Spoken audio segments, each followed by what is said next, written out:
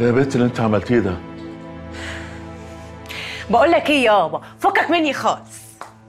إيه يا عم فتوح؟ انت لسه عايش؟ خش لم هدومك يا بنت وتعالي معاك. ليه يابا عايزني ألم هدومي؟ عايز تبيعها ولا إيه؟ عارف يا توحة انت الوحيد اللي أنا كنت متأكد لما اخرج من السجن الاقيه عايش. هو اللي زيك متبت على القرش هو اللي بيعمر فيها. بس فيك حاجة ما اتغيرتش وشك زي ما هو. مستفز.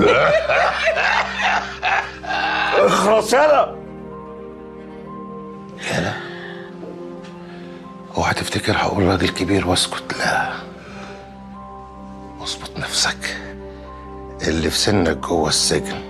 كنت بخليهم يغسلوا غيارات الداخلية. بقول لك إيه يابا؟ ما تتكل على الله كده يا أخويا وشوف أنت رايح فين. لحسن شوقي بجد عصبي. وممكن تطلع في دماغه بجد ويخليك فعلا يابا تغسل له غياراته الداخلية.